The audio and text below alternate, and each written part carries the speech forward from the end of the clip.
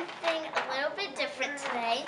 I will be sharing a presentation from school and it's about bottled art from Southeast, Southeast Garner High and I'll read you guys my summary.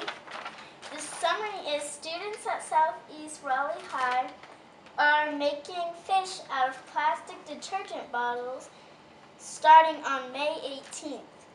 They did this because they wanted to make art at the same time.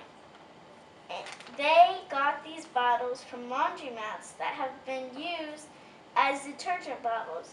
Then they took them back to the school to use as art.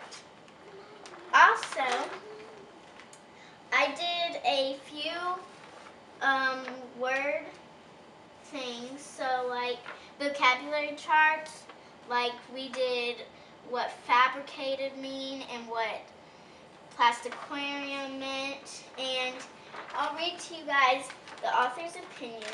The author's opinion is that it is cool that you can use bottles. I know this because the fact that he's writing about it, saying that there are many things to do with to do makes it clear it's awesome to him. The author wrote this article to entertain folks about bottles getting a new life as art.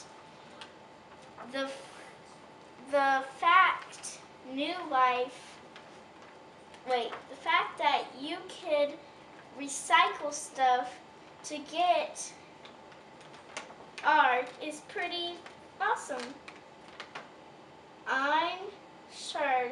Author agrees with me. And I just decorated a little bit.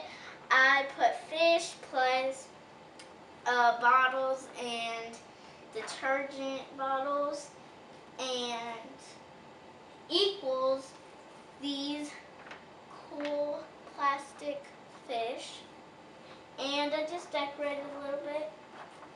So, forget to subscribe below and like. Bye.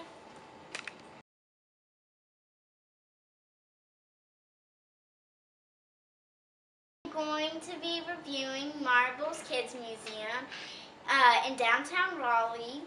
Um, most of you had probably been to Marbles